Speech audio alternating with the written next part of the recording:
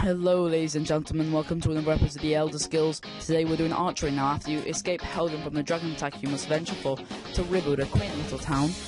After you do that, you must want to talk to Sven.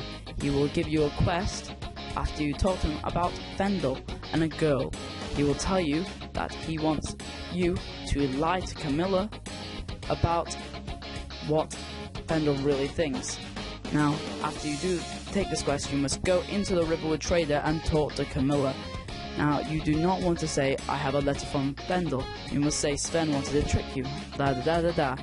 Uh, she will then give you a quest to talk to Faendal about this. Now, I got a bit confused on the way out, trying to find him in about took half an hour.